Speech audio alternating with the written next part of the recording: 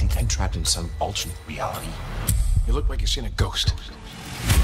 I almost died. You don't remember? I remember it differently. The water has done something to my memories. Dad, are you okay?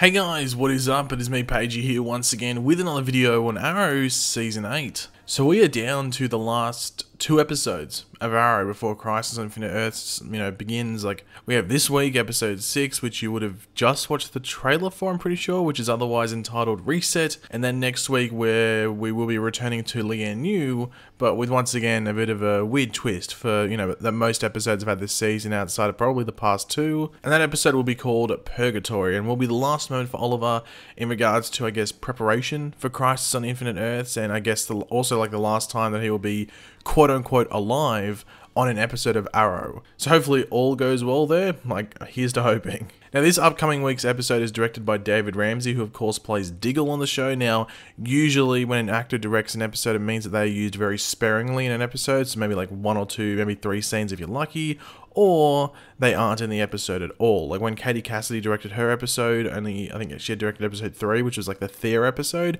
Laurel wasn't in the episode at all. So don't expect much Diggle in this week's episode or any at all. I don't think he was in the trailer from memory, so that should give you a suggestion as to I guess Diggle's role in this episode. But in this video, we're going to go over that trailer and the best bits from it, some information as well, and also some uh, like inside stuff, if you want to call it, on the spin-off show of Arrow, otherwise known as Green Arrow and the Canaries. But of course, throughout the video, be sure to let me know all of your various opinions on what we go over, and just your opinions, theories, thoughts, all that. Let me know in the comment section down below. And of course, if you're going to enjoy the video and you're excited from what we go over in this video, why not drop a like on it, show, uh, like on it to show your support and excitement. But first, we will quickly go over the synopsis or description for the episodes. It does give us a bit of a better idea as to what's going to happen specifically in episode 6. After being double crossed by Lyla, Oliver finds himself facing a life or death situation that seems very familiar. Laurel has the opportunity to make amends with the past. So basically, we start off the trailer by seeing Oliver waking up in an alternate reality where well, there's a couple of things different, but the main thing is that Quentin Lance is alive. He actually survived that gunshot that killed him um, from, you know, a presumably Ricardo Diaz, because that's what happened in the show, and you have to assume that's what's going to happen in this alternate reality, but they could change it where, like, Banana Jim did it, but you have to assume it's Ricardo Diaz. Now, one thing I'm curious in, like, about in regards to this alternate reality, and let me know if you agree with me, is Oliver still mayor here? Like because they show him like in like like a, what looks like a mayoral setting, like maybe like the town hall and like the mayor's offices, mayor's offices and stuff like that. So is Oliver still mayor here? Um, and Rene is still sort of working for him. Not 100% sure what's going on, on here exactly, but it, it sort of does give off the feeling that Oliver might still be mayor here. Um, or mayor, however you want to pronounce it.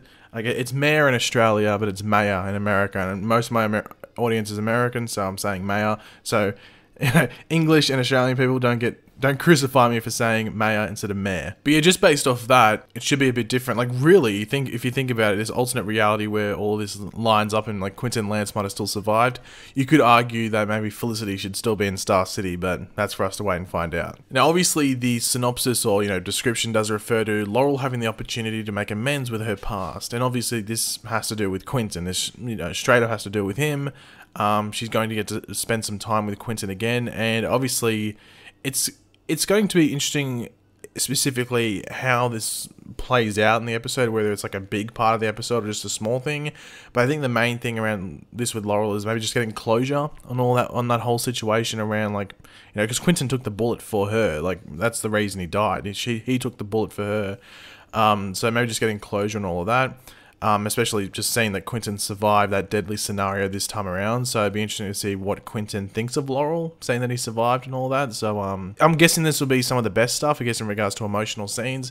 And, you know, usually those are the best type of scenes in regards to like Arrow and Flash with certain characters, like Arrow and, uh, not Arrow and Quentin, Oliver and Quentin, Laurel and Quentin, Oliver and Diggle, um, scenes like that. And I'm assuming this will be the same. So I'm expecting some good stuff here. Now, we do see an explosion. Yes, an explosion that sends uh, Quentin, Laurel, and Oliver. I think those are the three characters that are there. Uh, like Oliver and Laurel are dressed up as Green Arrow and Black Canary, and they sends them back. And it does seem in that in like the next shot that Lyla is in the same room. You can see there's like um things on the right right hand side there. They're on the right hand side of the same shot where Oliver, Laurel, and Quentin get sent back. And well, Quentin, uh, not Quentin, sorry, Lyla is standing over them with a goddamn gun. So maybe in Oliver, or maybe Lo- Oliver and Laurel are sort of like breaking through what Lyla and the Monitor are doing here because Lyla looks pretty pissed. Uh, but then again, Lyla could be super pissed at Laurel for what she did in the previous episode where um she sort of exposed her to uh, Diggle. So because that was a bit of a mic drop moment because you know the monitor could have easily shown up to uh, to help Laurel and not put Lyla in that situation. But I am like overly intrigued to see what the the premise of this episode is because it seems like it's going to be in present day, so it's going to be 2019, but just in his alternate reality. So Quentin Lance has been almost dead for two years, really, in the in, in, in where we are. Um, so I want, it'll be interesting to see like what's happened since then in this alternate reality where Quentin would have been alive. Um, but yeah, I mean, I'm interested to see what the like the plot of the episode is and what they're trying to stop and what the threat is and all of that. Now, the big thing is, is like where exactly are they this episode? Because it's obviously an alternate reality that's been made pretty clear.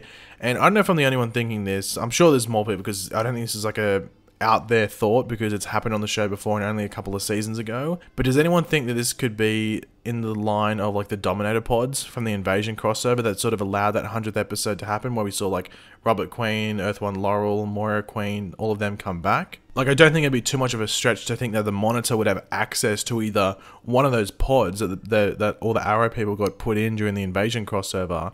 He would have access to something like that, or he would have just he just taken those pods. Maybe he destroyed a monitor, a, a, a, dominator ship or something, and has those pods and is able to do with them what he wants. So that could be something that happens there because I don't know necessarily how this happens. You know, obviously I don't know. Like I guess the monitor could do it, but you know obviously they are doing a lot of throwbacks this season with a lot of various things and that would be one hell of a throwback to actually use those pods and pretty much do something similar to what we've already seen them do. So in the 100th episode it was to pretty much allow them to be in this alternate reality where all these characters could come back and want to do the same thing here. So Quentin can come back and maybe even some other deceased characters. Who knows who else might um, guest star in this episode and cameo. So who knows what could happen there, but it wouldn't surprise me if that's exactly what's happening here um, in regards to this alternate reality. It's because of the Dominator pods. Now, I thought I'd end off this video with talking about some spin off stuff. So, the spin off is, well, fastly approaching because we have the backdoor pilot for the spin off in episode 9, which is, of course, the episode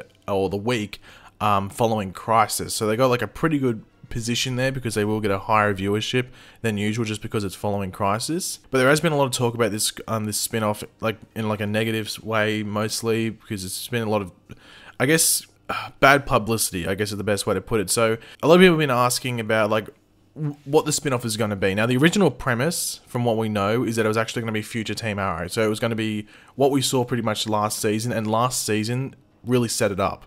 So you know how last season when all like the I guess you can call it the old people or the boomers um, left uh, all the young people in the in the future, that was almost pretty much set up for what the spin-off was going to be. So it was William, Connor Hawke, um, Mia, and Zoe. Those that, that was literally what the team was going to be. So Zoe died, obviously in Arrow, so she was a casualty of them changing plans. And obvious, and they didn't have to kill her, I guess, but I guess maybe it was just to lower the cast when they came back to the present day because um, I don't think they were ever meant to come back to the present day either. I think Felicity leaving the show was a main factor in them changing the storyline and Mia coming back to present day. I think if Felicity stays on the show, Mia doesn't come back to present day. So, what would would that have made this season better? I don't know. You'd have to think about it, I guess. I'm not going to jump to conclusions and say it would have been, but I think it might have been. I don't know. But we now know obviously the show is called Green Arrow and the Canaries. But even though that comic cover that sort of Marc Guggenheim put out, which was meant to be almost like an advertisement sort of thing for the spin off, that was a bit misleading because now he's said and he's pretty much confirmed that the spin off is set in 2040. So it seems that Mia and William and I guess Connor, whether if all of them survive crisis, I know that Mia and William do, um, they go back to the future. So I guess Laurel and Dinah also go to the future, or their future versions join them. But when they were filming the uh, the, the spin off pilot, Laurel and Dinah weren't in their like old makeup, like they didn't put like the makeup or the wigs on and stuff like that. They were just looking like their present day selves. So there's a lot of confusion, and it's pretty much causing some drama around the 2040 setting because no one's really sure what to expect. Because you got the Olicity fans, which are like a really small percentage of the people that watch the show, but they're a very vocal minority that are like slamming I guess Laurel and Dinah being on the show and they want the future Team Arrow stuff. But then you got to think the majority of people who just sort of want a present day thing, if they're going to do this spin-off not really wanting the 2040 setting because it's a pretty dead setting. It's not very interesting. But obviously crisis could change that. We don't know what's going to happen with crisis and what happens there and what changes. So it could be a completely different future from what we see there. But they have said in the past that that future is concrete. Nothing would ever change it. So that future would always be like that. So unless they go back on their word it will be the same. Now, in regards to why they changed it, um, Katherine McNamara, who plays Mia, had in her contract pretty much, it's been confirmed by people on set as well. So this isn't like theories, this has been confirmed by people on set. She has a thing in her contract, which is the only reason she signed onto the show, that she would get a pilot episode and she would be the lead character. So that's why it was going to be future Team Arrow and she was going to be the main character, but now it's sort of morphed into this other spin off thing. W- why that changed, you can theorize, and why they felt they needed to bring in Laurel and Dinah instead of having the, uh, the other future Team Arrow members be the main sort of um, focus. You can theorize all you want there. I think it's fairly obvious. But this leads into whether the, the show goes forward because that pilot thing in her contract, I'm pretty sure, um, gets covered if they do a backdoor pilot. So if episode 9 is the backdoor pilot, I think that might count in her contract, so they necessarily don't have to go forward with the show. However, and there's been people saying, like, oh, the show won't go forward. I don't think it'll get enough views. I'd be shocked if the show doesn't go forward. I think it'll get enough views. If Black Lightning can stay on air and get less than 500,000 viewers, I think this will get at least six to 700,000 views, which isn't a lot, especially for a new show, but I think it's enough to keep it on air, especially because it will be a cheap show to get off the ground, as they can just reuse a decent amount of the arrow sets. You know, just put some dust on them, I guess, to make them look a bit older and just add a weird filter like they did. Um, look, it'll get it'll get them through season one. Whether it keeps it around for multiple seasons is another question. But I'd be shocked if it didn't get picked up for series order, just because it's got um, already existing characters. They don't have to really build off anything new. They can introduce new characters, but for the most part, they're just dealing with already existing characters, which you know certain groups like each certain character, so they get multiple um, sources of viewership if that makes sense. But yeah, as I was saying before, like ratings will be important. Um, but it'll be important for episode 9 specifically, which was the backdoor pilot. But seeing it's the week after Crisis, those ratings will be a bit skewed um, and not as accurate as they should be compared if it was like episode 10 or maybe episode 3 where they did the uh, the backdoor pilot um, so it's hard thing to you know base the potential of the show over but it will be the deciding factor for the most part I think but we'll have to wait and see I'm, I'm, I'm sure they'll give us an announcement on whether it's going forward pretty soon after episode 9 airs but um, yeah, guys, thanks for watching. Hopefully you enjoyed the video. If you did, it'd be awesome if you could drop a like on it to show your support. Let me know in the comment section down below your various opinions on what we, went, uh, what we went over. What are your thoughts on this uh, week's upcoming episode with the alternate reality and stuff like that? What do you think's going on there? And what are your thoughts on the spin-off? How excited are you for the spin-off? That's what I'm sort of curious about um, because it's it's very mixed it's definitely probably the most, um, I guess, not controversial, but I think it's just so mixed that it's hard to tell where it's going to go. But yeah, let me know in the comment section down below. And of course, if you are new to the channel, make sure to subscribe and I'll catch you guys later. Goodbye.